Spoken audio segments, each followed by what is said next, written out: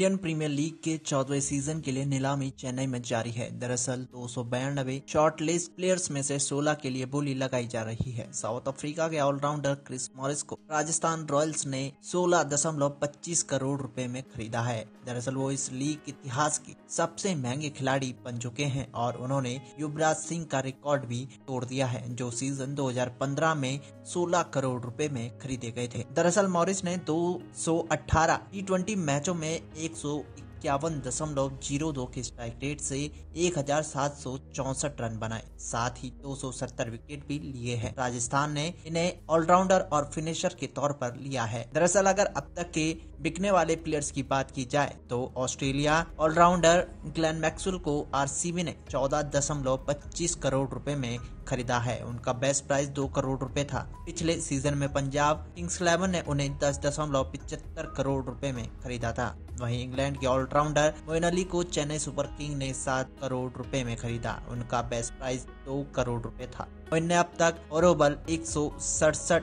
T twenty खेले हैं, जिनमें उन्होंने 3,513 रन बनाए हैं और 110 विकेट भी झटके हैं। वहीं राजस्थान रॉयल्स के कप्तान रहे ऑस्ट्रेलियाई बल्लेबाज स्टीव स्मिथ को दिल्ली कैपिटल्स टीम ने दो दशमलव बीस करोड़ रुपए में खरीदा। उनकी बेस्ट प्राइस दो करोड़ रुपए थी। पिछले सीज़न में स्मिथ की कीमत बारह दशमलव पचास करोड़ रुपए थी। वहीं बांग्लादेश के ऑलराउंडर साकिब अल हसन को तीन दशमलव बीस करोड़ रुपए में कोलकाता नाइट राइडर्स ने खरीदा। उनका बेस्ट प्राइस दो करोड़ रुपए था। शाकिब ने अब तक आईपीएल के तिरसठ मैचों में सात सौ छियालीस रन बनाए और उनसठ विकेट लिए हैं। शिवम दुबे को चार दशमलव चालीस करोड़ रुपए में राजस्थान रॉयल्स ने खरीदा। उनका बेस्ट प्राइस पचास लाख रुपए था। पिछले सीज़न में आरसीबी ने उन्हें पाँच करोड़ रुपए में खरीदा था। इस ऑलराउंडर ने अब तक पंद्रह आईपीएल मैचों में एक सौ उनहत्तर रन बनाए हैं और चार विकेट लिए हैं। खैर, आपको क्या लगता है? हमारे कमेंट बॉक्स पर अपने सुझाव ज़रूर रखें।